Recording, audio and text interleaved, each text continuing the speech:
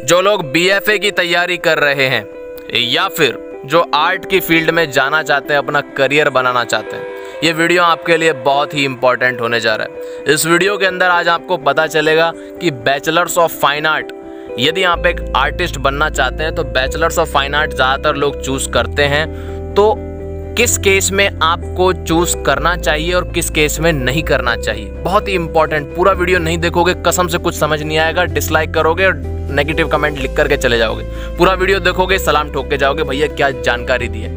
Last video के अंदर भी मैंने आपको समझाया, लेकिन आधे से लोगों ने क्या किया? 50 परसेंट लोगों ने पूरा देखा 50 परसेंट लोगों ने क्या किया? खाली खाली उसको चार पाँच मिनट का वीडियो देखा। दस मिनट के वीडियो इतना लंबा वीडियो रामायण थी उसमें, केवल और केवल चार पाँच मिनट देखा और उसमें उसका टाइटल पढ़ा थंबनेल देखा, सीधा जंप करके कमेंट करने पहुँच गए भाई साहब। अब पूरा वीडियो नहीं देखोगे तो आपको कुछ समझ आएगा नहीं। तो कसम से बोलता हूँ, पूरा वीडियो देखो, बहुत हेल्पफुल वीडियो है और आपको ज़िंदगी आपकी बच सकती है थोड़ी सी। आपके चार साल बर्बाद होने से बच सकते हैं। बहुत ही इंपॉर्टेंट वीडियो है। पूरा देखना, इसको दिल से देखना फ्री होकर के देखना एक तरह से। धन्यवाद। So let's start the video जो लोग अभी बैचलर्स ऑफ़ फाइन आर्ट की तैयारी कर रहे हैं, ठीक है? बहुत सारे लोग अभी बैचलर्स ऑफ़ फाइन आर्ट के बारे में लोगों ने अपना रिसर्च किया हुआ है और वो अभी एग्ज़ाम के लिए, अपनी तैयारी करने के लिए बैठ चुके हैं। उन लोगों के लिए काफ़ी इंपॉर्टेंट वीडियो है, क्योंकि अभी आपके करियर की बात है। एक बार आप जा रहे हो, वहाँ पर अपना जंप ले रहे हो एक तरह से।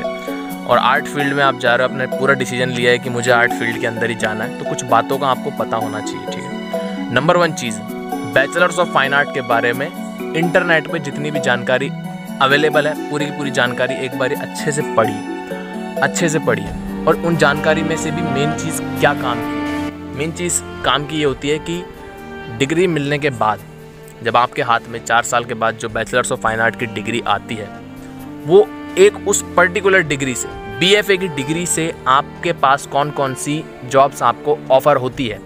ठीक है, कोई ऐसा आपको पता चलना चाहिए, कुछ ऐसी आप खुद से नॉलेज लें, मैं तो आपको अगले वीडियो में बताऊँगा ही।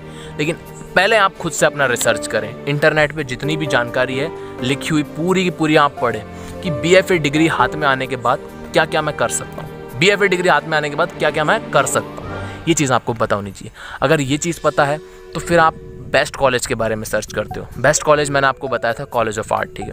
अब कॉलेज ऑफ़ आर्ट के बारे में आपने सर्च किया तो आपको पता होना चाहिए कि इसकी प्लेसमेंट कितनी है, ठीक? है यानी कि प्लेसमेंट का मतलब आधे से लोगों को नहीं पता होगा तो प्लेसमेंट वो चीज़ होती है कि जब आप फाइनल ईयर में अपने होते हो बेसिकली कॉलेज के फाइनल ईयर में होते हो तो कुछ कंपनीज़ आती हैं आपके कॉलेज में और बच्चों को लेकर के जाती है मतलब हायर करती है, यानी कि कंपनी वाले बच्चों को देखते हैं कि कौन सा बच्चा टैलेंटेड है। उन टैलेंटेड बच्चों को काम देती है जॉब देती है। यानी कि आपको थाली में जॉब मिल जाती है एक तरह से। प्लेसमेंट का मतलब आपको कॉलेज ख़त्म होने से पहले आपके हाथ में जॉब आ जाती है। बेसिकली ये होता है प्लेसमेंट और वो प्लेसमेंट डिपेंड करता है आपका कोर्स कौन सा है, आपके कॉलेज कौन सा है, कितना अथोराइज कॉलेज है, कितना बड़ा कॉलेज है, और कोर्स कौन सा है मोस्ट इंपॉर्टेंटली ठीक है?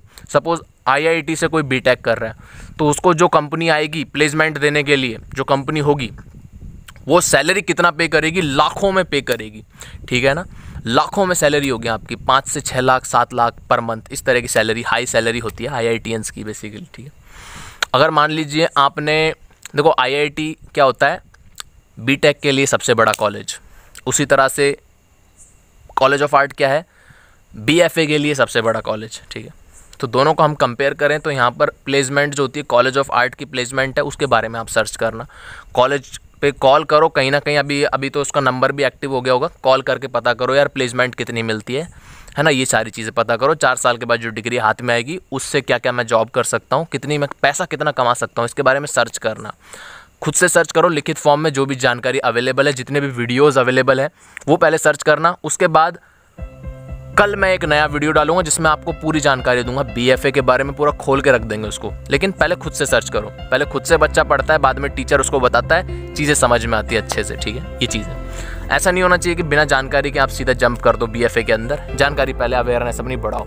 अभी बात करते हैं कि भाई बैचलर्स ऑफ़ फाइन आर्ट में मान लीजिए, आपका कॉलेज ऑफ़ आर्ट में अभी मतलब बच्चे तैयारी कर रहे हैं बीएफए की तैयारी कर रहे हैं। अगर सपोज़ मतलब फ़र्ज़ कीजिए कि आपका भगवान ना करे मतलब भगवान ना करे कि आपका अगर सिलेक्शन नहीं होता है। क्योंकि यहाँ पर देखो पॉसिबिलिटी अब हज़ारों बच्चे अप्लाई करेंगे, उनमें से पचास साठ बच्चे सेलेक्ट हो जाएँगे। बाकी सबों का नहीं होगा, ठीक है? यानी कि ज़्यादातर मेजोरिटी में बच्चों का यहाँ पर सिलेक्शन नहीं होगा। तो वो बच्चे क्या करें? सो मैं अपना एक रिकमेंडेशन देता हूँ। मानना है, नहीं मानना है, आपकी मर्ज़ी। मैं रिकमेंड करता हूँ कि यदि आपका किसी बड़े कॉलेज में कॉलेज ऑफ़ आर्ट जामिया मियाँ इस्लामिया या बड़े बड़े जो टॉप के बड़े कॉलेजेस हैं, अगर इनमें एडमिशन आपका नहीं होता है तो don't do B F A ठीक है? बी एफ़ ए ना करने की एक कंडीशन ये है कि भाई, अगर बड़े कॉलेज में एडमिशन नहीं होता है बी एफ़ ए मत करो। अगर एडमिशन हो जाता है गो फॉर इट नहीं होता है तो मत करो, कोई और कोर्स चूज़ करो, ठीक है? बहुत सारे कोर्सेज अवेलेबल है। आर्टिस्ट आप तब भी बन सकते हो, मैंने पिछले वीडियो में भी आपको बताया था। कि अगर मान लीजिए कॉलेज ऑफ़ आर्ट में या किसी कॉलेज में आपका सिलेक्शन नहीं होता है, बड़े कॉलेज में सिलेक्शन नहीं होता है then there is no point of doing B F A जैसा कोर्स किसी थर्ड क्लास कॉलेज से करने का कोई मतलब नहीं है, क्योंकि ये वैसे ही एक अंडर रेटेड कोर्स माना जाता है। और अगर तुम एक गंदी फैकल्टी से पढ़ोगे इस कोर्स के बारे में, देखो डिग्री तो इसकी कोई काम की नहीं, मैं बोलता हूँ। मेन काम की चीज़ है कि क्या ज्ञान मिलता है आपको, और ज्ञान अच्छा कौन देता है? अच्छी फैकल्टी अच्छी फैकल्टी कहाँ मिलती है? अच्छे कॉलेज में। और अगर अच्छे कॉलेज में ही सिलेक्शन नहीं हुआ तो क्या काम की है डिग्री ठीक है? मत करो बीएफए उसके बाद क्या करना है आपको? अगर सपोज़ आपका नहीं हुआ सिलेक्शन तो आपको क्या करना है? पहली चीज़ तो बीएफए नहीं चूज़ करना है उस केस में। ठीक है? उसके बाद क्या करना है? उसके बाद जो भी पेरेंट्स आपके बोलते हैं, जो भी एक ट्रेडिशनल कोर्स होता है बेसिकली आप वो चूज़ करें, ठीक है? बी एफ़ से बेटर जो कोर्स होता है सिक्योर मोर सिक्योर कोर्स है। Like you can go for मैं बोलता हूँ, आप बी अगर साइंस के बैकग्राउंड से तो आप बी करें, ठीक है? बी करो। अगर आप मान लो सपोज़ कॉमर्स के बैकग्राउंड से हो सीए करो भाई सीए में सब जा रहे हैं डेफिनेटली जाओ, बड़ा हाथ मारो। बड़ी चीज़ है सबसे बड़ी चीज़ है तो सबसे पहले तो उस जगह हाथ मारो जो सबसे बड़ा माना जाता है, जो सबसे ज़्यादा सैलरी आपको पैसा पे करता है। वहाँ मारो अपना जी जान लगाओ हंड्रेड परसेंट दो, माथा फोड़ो, सर फोड़ो, हाथ पैर तो मारो कम से कम। मैं बोलता हूँ 99 परसेंट बच्चे जो होते हैं ना, वो खाली अपने आलस को छुपाने के लिए कि यार इसमें तो मेहनत करनी पड़ेगी बीएफए में चलता हूँ, पढ़ाई नहीं करनी पड़ेगी, इसलिए चले जाते हैं। BFA में यही करना पड़ता है ड्राइंग व्राइंग करनी पड़ती है। बचपन से थोड़ा बहुत मैंने किया हुआ है। तो यार पढ़ाई में तो इंटरेस्ट है नहीं है मैथ्स के सवाल मुझसे बनते नहीं है। चलो BFA में चले जाता हूँ। लोग नाइन्टी परसेंट इस, इसलिए जाते हैं। अगर, और मैं बोलता हूँ जिसकी ट्वेल्थ में परसेंटेज अच्छी नहीं बनती है ना, वो भी यहाँ पर जाता है BFA के अंदर। ये अगर आपका सिर्फ़ ये माइंड सेट है, बिल्कुल आप मतलब बहुत बड़े अंधेरे में हो एक तरह से, ये चीज़ मैं आपको बता रहा हूँ। है ना? इसीलिए कभी भी गलती मत करना। अगर अच्छे कॉलेज में, कॉलेज ऑफ़ आर्ट में एडमिशन नहीं होता है don't do B F A ठीक है? उस केस में फिर आप किसी दूसरे कोर्स को शिफ्ट हो जाए। ये गलती मत करना कि अगर कॉलेज ऑफ़ आर्ट में या किसी बड़े कॉलेज में एडमिशन नहीं हुआ तो किसी थर्ड क्लास कॉलेज से बी एफ़ ए करने बैठ गए।